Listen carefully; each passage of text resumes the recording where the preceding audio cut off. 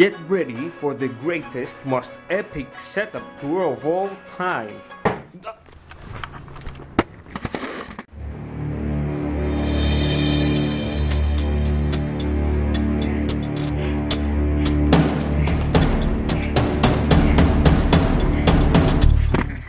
You wanna know how I got these cars?